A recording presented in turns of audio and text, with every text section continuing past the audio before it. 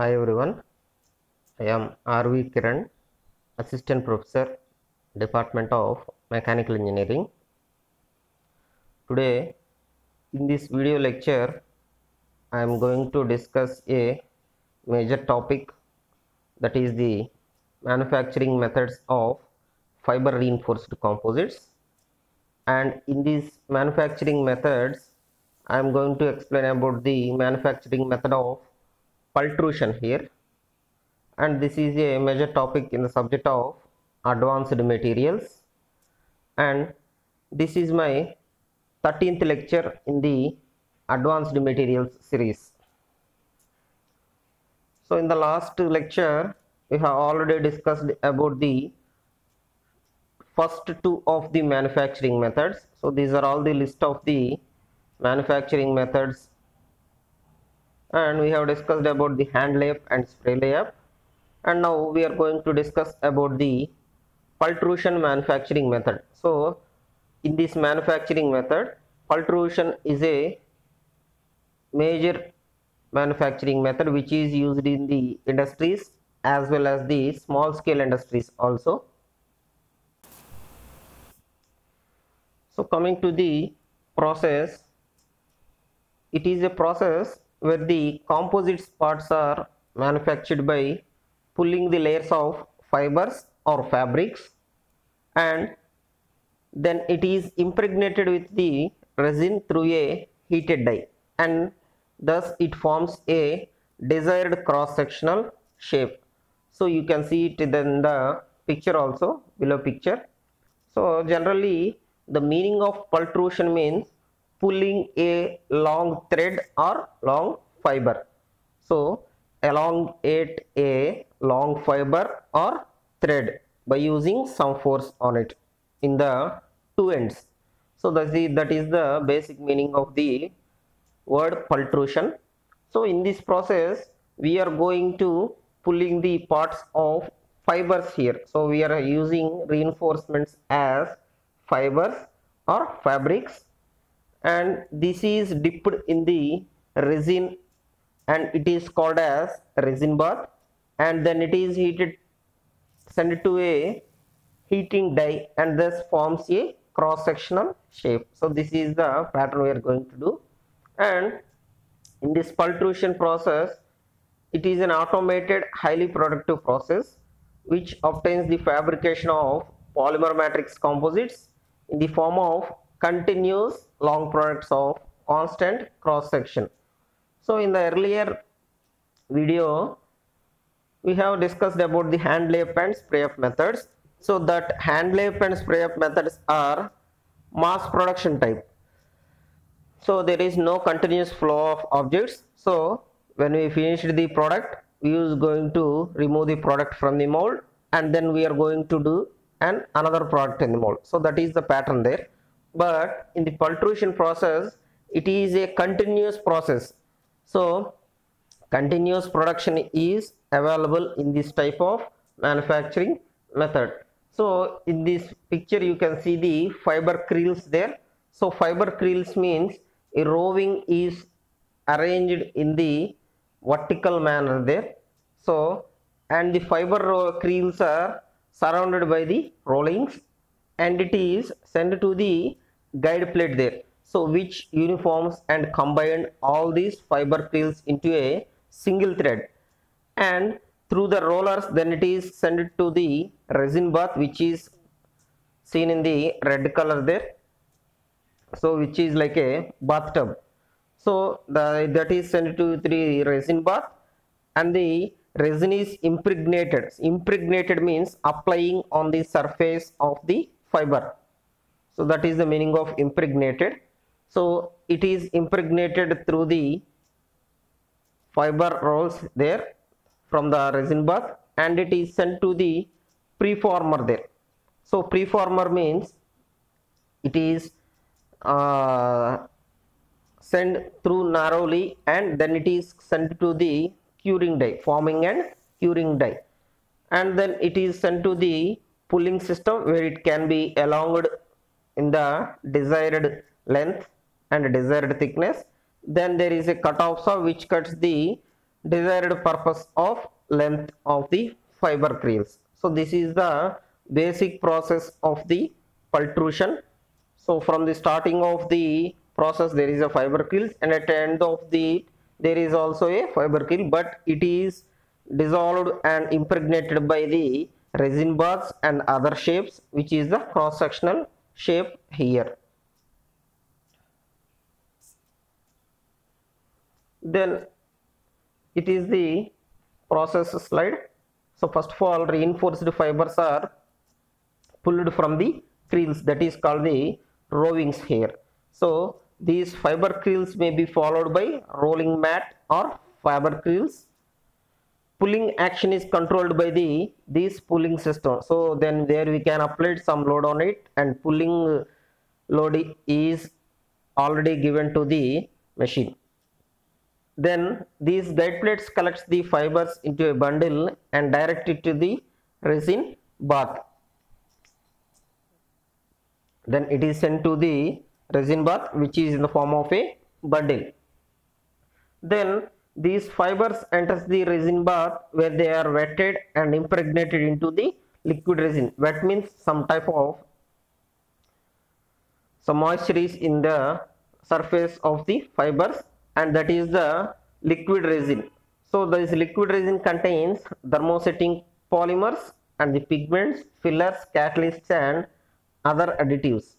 Then the wet fibers exit the bath and enter preformer where the excessive resin is squeezed out from the fibers and the material is shaped. So these material is shaped by after curing of the resin bath so there is a special die for the cross sectional shape. So depending upon the purpose of the industrial shape we are using these dies of different shapes and the preformed fiber pass through the heated die where the final cross section dimensions are determined and the resin curing occurs so after the resin curing the final cutting is done by the saws so cutting saws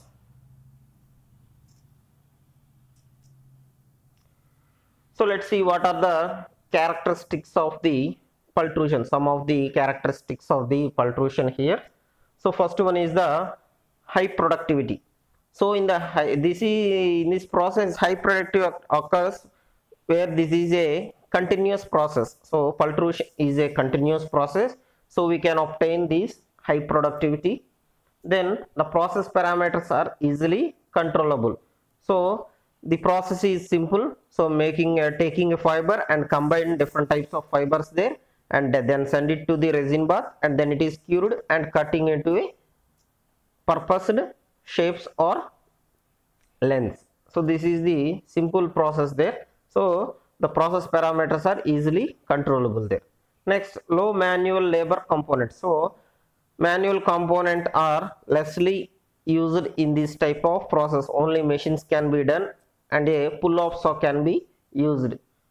Precise cross-section dimensions of the products. So we can obtain sharp cross-sectional dimensions by using complex dies. So basing upon based upon the dies used, we can obtain precise cross-section dimensions of the products.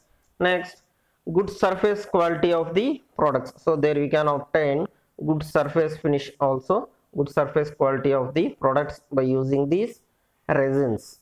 Next, homogeneous distribution and high concentration of the reinforced fibers in the materials is achieved. So, up to 80% of the reinforcement are rovings, so the fiber rovings and up to 50% of the mixed weight mat plus roving reinforcement. So, in the 80%, 50% is the mixed mat plus roving reinforcement. Then pultrusion is used for fabrication of fiberglass and carbon fiber reinforced polymer composites and next Kevlar is the material used in the fiber reinforced polymers. So it is also known as aramid fibers. So these are the basic characteristics of the pultrusion method.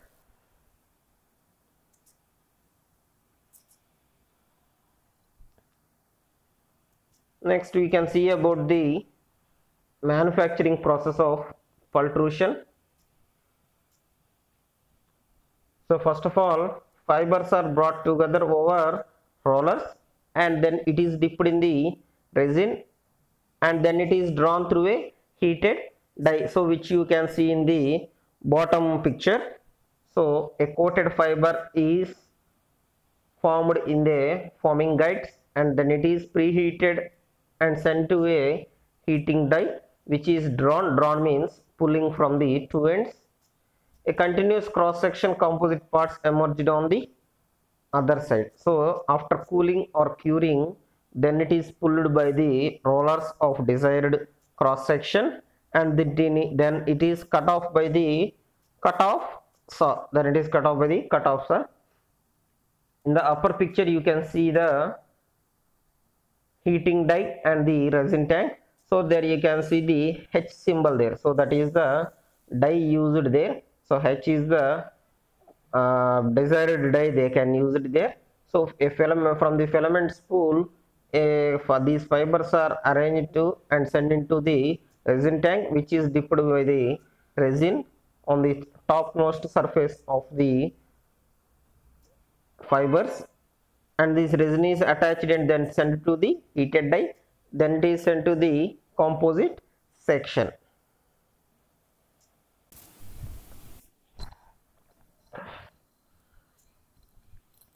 so in the cooling section you can see the cooling it in the both ways. After the heating die is heated. So when from coming the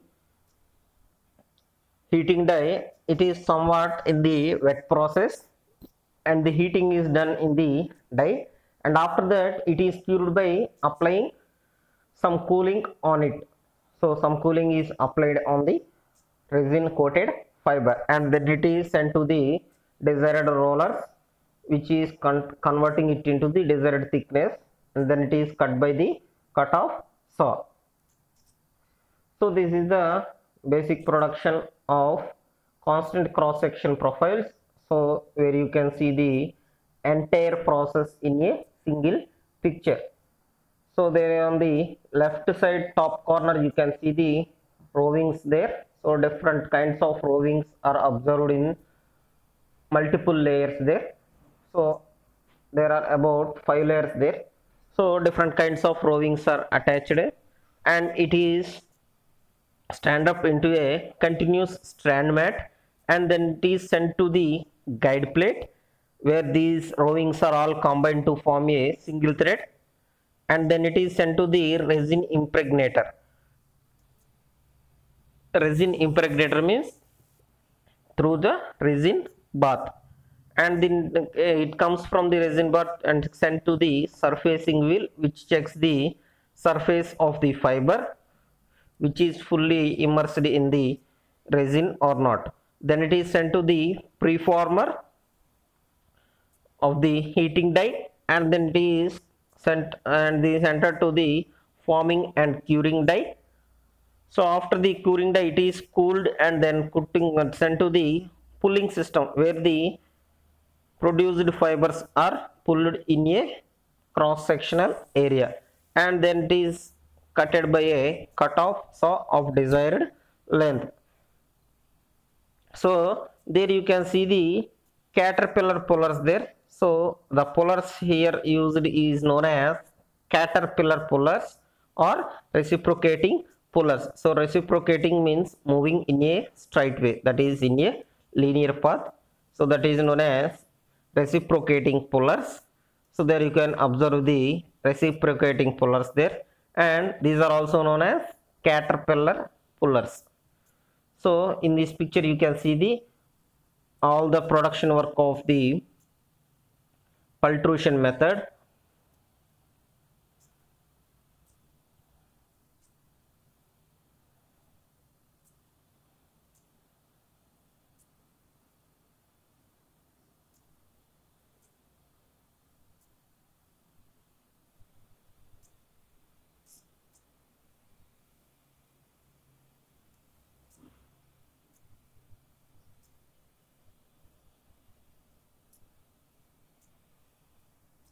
next is the basic design of the pultrusion process. So in the basic design, the hollow parts can be made by using a mandrel that extends out the existing side of the die. So there is an existing die, uh, sorry, there is an existing side in the mandrel side and these variable cross section parts are possible using dies with sliding parts. So they here using the sliding parts here. So this is all in the production of linear path only. So they are using these sliding parts. But there are two types of two main types of dies are used here. First one is the fixed die. Second one is the floating die. So what is the purpose of fixed and floating dies? So these fixed dies can generate a large forces to the wet fiber which is immersed in the and impregnated in the resin bath. But the floating dies requires an external power source to create the hydraulic forces in the resin. So that is the basic difference between the fixed die and the floating die. So fixed dies are used for the large forces on the wet fiber but the floating uh, die requires some external power source to the hydraulic forces in the resin. Next, there we can use the multiple dies which are used when curing is to be done by the heating dies. So there you can see the different types of dies there. So first one is the fiber rovings and then it is sent to the resin tank, then to the preforming die. Next one is the curing die. So two types of dies are used here. First one is the preforming die and second one is the curing die. So in the curing die, there are used are cooling. So cooling temperature is used in the curing die and in the preformed die, heating temperature is used. And next it goes to the pullers where uh, pullers or rollers where we can elongate these produced fibers here. So this is the basic design where we can use two types of dies that is the fixed and floating dies. Next coming to the design there exists very low scrap in this type of method. So there is no waste produced in this type of methods. So we are cutting the accurate length of by using a cutting saw and no waste is produced in this method. So up to 90% of the materials are utilized in this layup. So there is very low scrap. Next, rollers are used to ensure proper resin impregnation of the fiber. So when we are rolled on the pure fiber material, it gets some cracks on it but when we are rolling on the impregnation fiber it gets some smooth surface onto the roller. So that is the basic difference between the two. And the material forms can also be used at the inlet of the die where the materials are mats woven cloths or stitched material is used. So these are the three materials used in the material forms of the inlet to the dies Next, for curing, tunnel ovals can be used. So, you also know about the tunnels there. So, tunnels means opening on the two sides or two ends. So, opening on the two ends but closed on the upper part and the lower part of the layer. So, that is called a tunnel. So, we have seen it in the, we have seen outside the railway tunnels. So, that is the basic idea of the tunnel ovens here. So after the uh, general ovals consists of only one opening. So one opening on the door side, but these tunnel ovals get two openings there. So one on the starting side, one on the ending side. So after the part is completed and is formed and gelled in the die, it emerges and tunnel, uh, enters a tunnel oven where curing is completed. So in the tunnel oven, the curing is done. That is the basic purpose of using a tunnel oven here. So because it is a continuous process. So coming to the handle uh, process or spray layup, there we cannot use the tunnel ovens here because there are not a continuous production. That is a mass production there. So another method is the process runs in intermittently with the sections emerged from the die and the pulling is stopped. Splitting dies are brought up to the sections to cure it. So different types of dies can be used. So in the last slide we have already discussed about the fixed die and the floating die. So these are the split dies they are used and brought up to the sections to cure it. They there then retract and pull pulling is continued. So generally the typical length for curing are 6 inches to 24 inches. So that is the basic length for using the curing of typical length.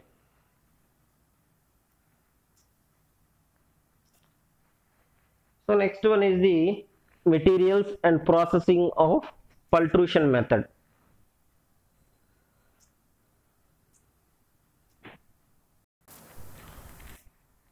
Next one is the materials. So there are two types of materials used. First one is the matrix and second one is the reinforcement here.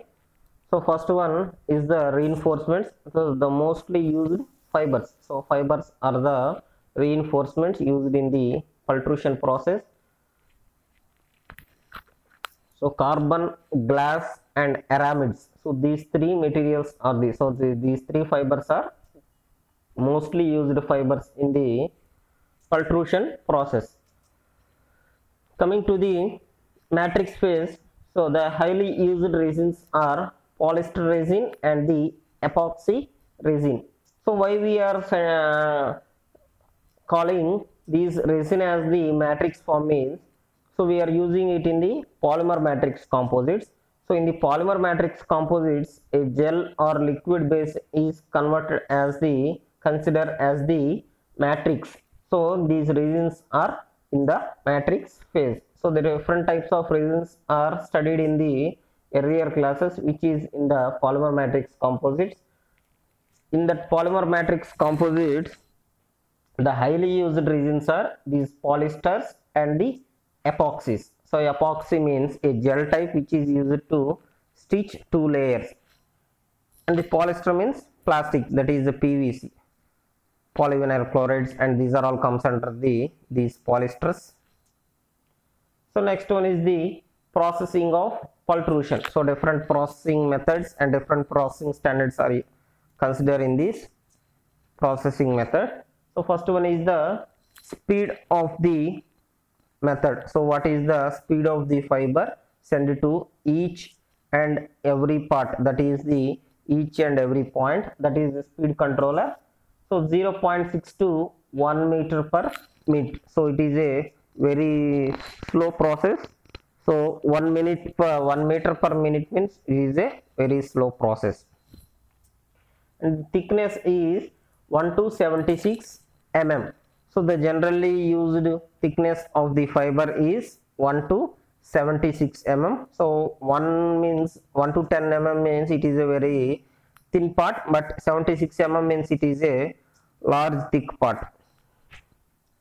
then the diameter is 3 mm to 150 mm so the generally used diameters for the fiber cross sectional area are 3 mm to 150 mm next a double clamps or belts or chains can be used to pull the part throughout. So double clamps means fixed on the two ends or belts or chains can be used to the pull the part through. So pull the fibers throughout the part next one is the cutting saws types of cutting saws so diamond or carbide saws are used to cut sections of the final part. The saw is designed to track the part as it moves. So these diamond uh, saws or carbide saws are mainly used but in the industries carbide saws are mainly used to cut the sections of desired shapes. So that is the accurate shapes and rough sections. And the desired section saw is desired to track the part as it moves. Then it is sent to the designed part. Last one is these parts have good axial properties. So good axial properties have been used in these cutting saws. So these are the processing parts. That is the speed thickness diameter of the fiber and what are the parts used to pull the fibers and what are the materials used in the saws what are the different types of cutting saws used in these sections for the final part? So these are the processing techniques there.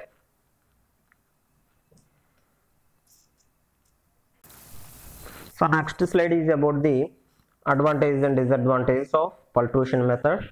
So first we are going to draw the positives that is the advantages so first one is the good material uses compared to layups. So that is every each and every part of the material has been kindly used in this method compared to the layup. So in the layup some material have been wasted there.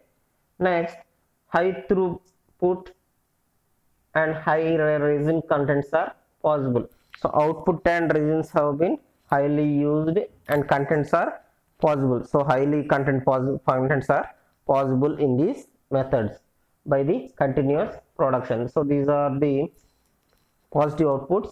Next going to the negative that is the disadvantages.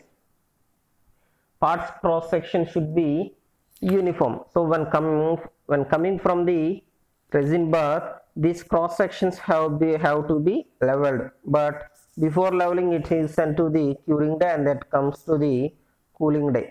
So the cross sections may be varied in some parts. Second one is the fiber and resin might accumulate at the die opening leading to increased friction causing jamming and breakage. So due to wet resins these fibers can also damaged in some conditions but depending upon the temperatures used in the die this can be accumulated next when excess resin used part strength will decrease. So this is the main advantage uh, the disadvantage. So we have to use the limited resin there. Limited um, amount of resin has been used in the resin bath. When excess amount is used in the resin bath the chemical parts used in the part strength will decrease. Decrease the properties of the fiber next. Voids can result if the dies do not conform well to the fibers being pulled. Voids means some amount of solid parts obtained in the liquid region when forming a solid solution. So these can result if the die does not conform well to the fibers being pulled. So when we, when we are pulling some amount of fibers can be removed from the resin that is తెలుగులో ఉంటా ఉంటామో పెచ్చుకల్లాగా లేచిపోతుంటాయి అనమాట మనం ఎప్పుడైతే full చేస్తున్నామో ఫైబర్స్ని చిన్న fibre మీద ఏంటంటే సరిగ్గా అతుక్కోక రీజన్ ఏమిటంటే పిచ్చికల్లాగా ఊడిపోతాయి. సో దాన్ని వాయిడ్స్ అంటున్నాం. Next quick curing systems decreases the strength so the amount in the curing systems are very less in this continuous production system so it decreases the strength of the quicker curing systems. So these are all the different types of advantage here. So minimal kind of fibers or fabrics. So different types of fibers can be used but it is limited to a some amount only. That is fibers or fabrics minimum to the minimum condition only. Next rapid processing. So the processing usually here are rapid processing. Next one is the low material scrap rate. We have already studied in the earlier slides also. And next one last one is the good quality control. So good quality control has been obtained in the process compared to the other process. So these are the advantages. Next one is the potential problem. So here it is considered as the disadvantage also.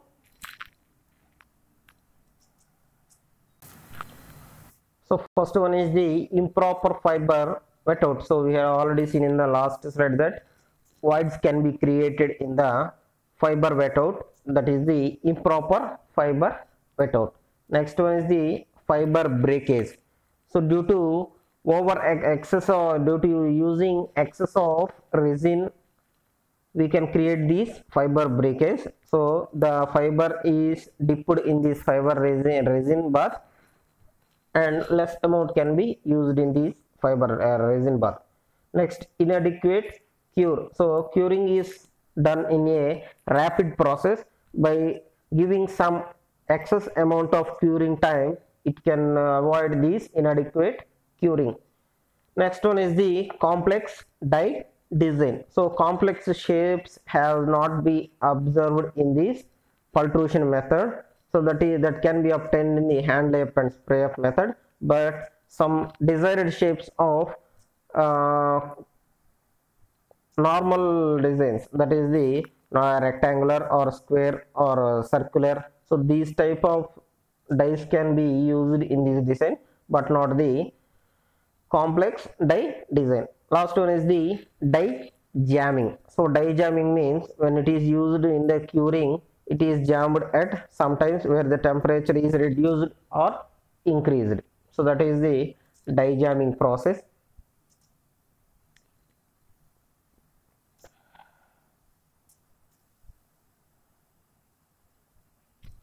next last one is the applications of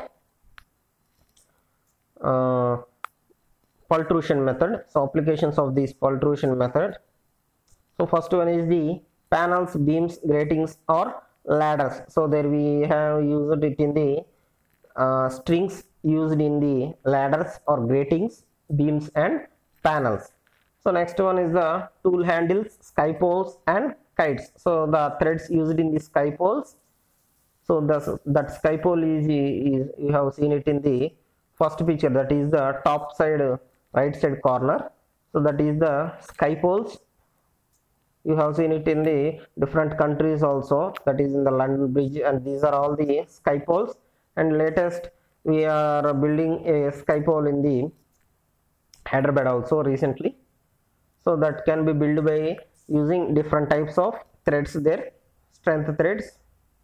Next one is the electric insulators and enclosures. So these electric insulators can be used in the different types of electric uh, electrical uses. So you can see it in the blue color picture. So these are the different types of electrical insulators and enclosures used in the applications of pultrusion process. And next one light poles handrails on roll up doors. So recently aluminum doors and different kinds of uh, roll up doors are using in the construction of different offices and different methods. So these type of used in so you can see it in the right side bottom picture.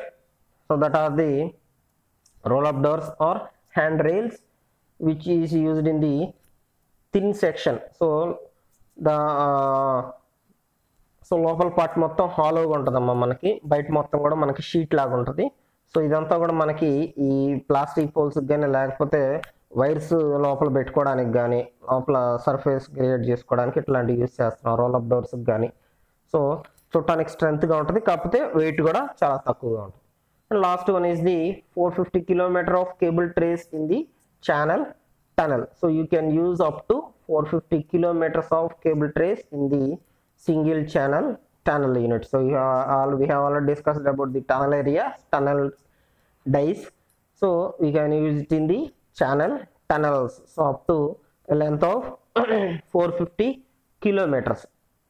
So these are the basic applications of and basic areas of using this pultrusion process where you can see it in the different applications so largely used it in the sky poles kites and tool handles there. So there you can see the different standards of strengthly occurred threads there. So threads can be used in there. That is the high strength fibers there. Long high strength fibers can be used. And it is also used on the channel tunnel also. Channel tunnels and electric electrical insulators also. So these are the basic elements which we can study in the pultrusion method. That is, that is the basic characteristics applications advantages and disadvantages basic production and design of the pultrusion thank you